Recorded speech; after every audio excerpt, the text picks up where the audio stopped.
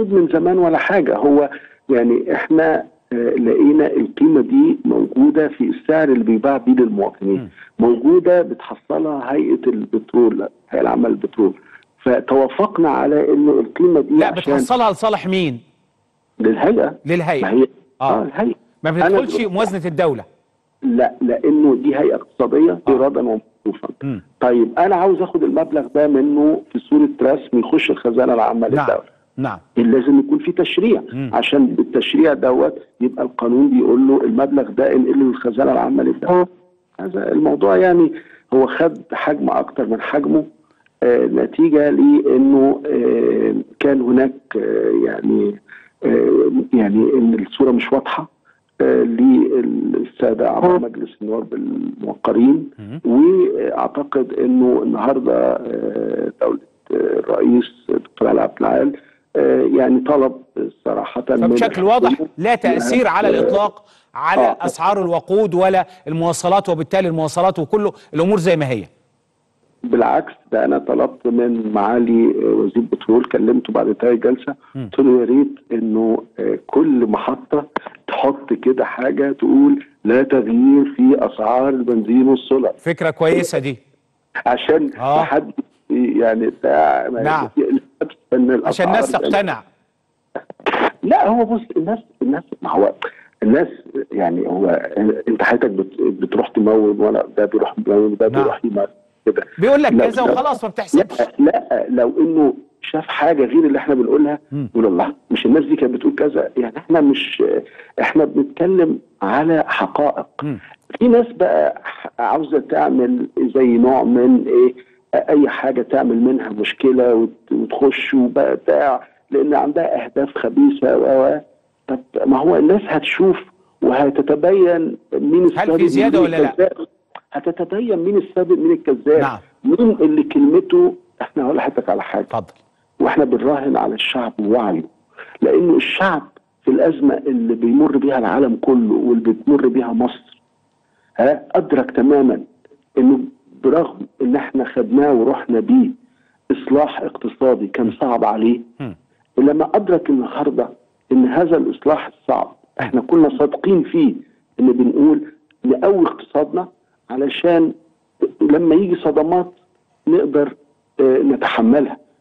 فإذا على مدار الفترة اللي فاتت وبرغم الصعوبة في الإصلاح وما إلى ذلك لكنه في في الأزمة دي وفي إدارة الأزمة دي أدرك إنه لأ اللي كان بيتعمل صح اللي كان بيتعمل هو اللي مكن الدولة المصرية إنها تقدر في ظل هذا الصرف الظرف القاسي جدا القاسي جدا إنها تقف وإنه إن المواطنين ما تاثروش بأوضاع دول اقتصادها أقوى مننا متأثرة بيه تأثر سلبي شديد جدا العالم كله متأثر بيه.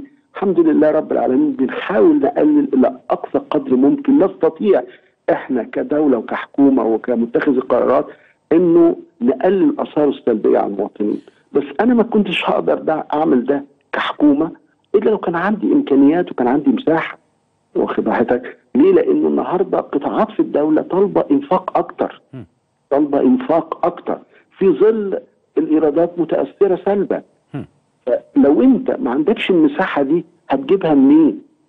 طيب لو أنا بتكلم على ال 55 قرشا دول ما بين سولار وبنزين يعني يوفروا قد إيه لينا لموازنة الدولة أقصد الاثنين دول مع بعض يعملوا دخل الموازنة العامة للدولة في حدود 6 مليار جنيه. 6 مليار جنيه آه ال- الإجراءات الجديدة أو المشروعات هو هو آه. أنا بس مش عاوز أسيب دي قبل برضو ما المواطن يقول لك طب اتفضل. يعني آه، آه، طب برضو ممكن مواطن يقول لك برضو أنا مش مش مستوعبها وانت هتعمل يعني هو مظلة تشريعيه إن أنا أقدر أروح للبترول وأقول له بص أنا دلوقتي ليا حق في هذه القيمة تعالى بقى أما أعملها معاك تسوية محاسبية ومالية. يعني دي مشكلة حكومة مع بعضها.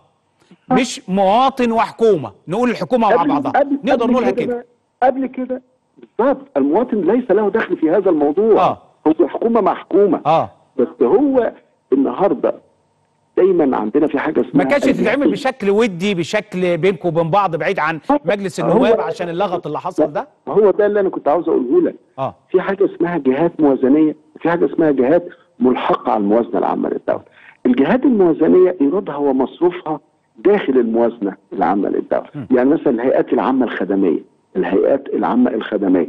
لا دي ايرادها ومصروفها داخل الموازنة العامة للدولة. لكن لما تقول لي هيئة عامة اقتصادية لا دي مش ايرادها ومصروفها مش جوه الموازنة العامة للدولة. دي ليها موازنة بتطلع بقانون. وبالتالي فايرادها ومصروفها ليها. آه ممكن يبقى في علاقة بتتنظم في فائض بيترحل أو ما إلى ذلك. طيب لما تعوز تاخد حاجة وتبقى لأ بدل ما حتى لو كانت بتحصلها الهيئة الاقتصادية بس تبقى تروح للموازنة العامة للدولة مش تروح للهيئة الاقتصادية. واخد؟ يعني مثلا مثلا لو أنا قلت مثلا مثلا هيئة سكة الحديد. في إيراد معين. بس أنا جيت قلت إيه؟ الإيراد ده أيوه أنت هيئة اقتصادية. بس أنا عاوز الإيراد ده يخش لي أنا كموازنة عامة للدولة. لا لازم أعمل قانون. ما أقدرش آخده كده. واخد بالك؟ اذا الهيئة الاقتصادية الهيئة الاقتصادية هي هيئة إيرادها ومصروفها داخل عندها هي مش داخل الموازنة العامة للدولة. طب أنا عاوز آخد جزء من ده يخش عندي. لا لازم أعمل قانون بقى علشان يديني الحق إن أنا آخد هذا الجزء وأدي. ادي لك مثال. اتفضل يا فندم. النهارده النهارده السجاير الشركة الشرقية أو الشركات الثانية نعم. بتبيع سجاير. طب أنا عاوز آخد ضريبة على السجاير دي. أروح أقول لها إيه؟ زي مثلا الشركة الشرقية ده انت 50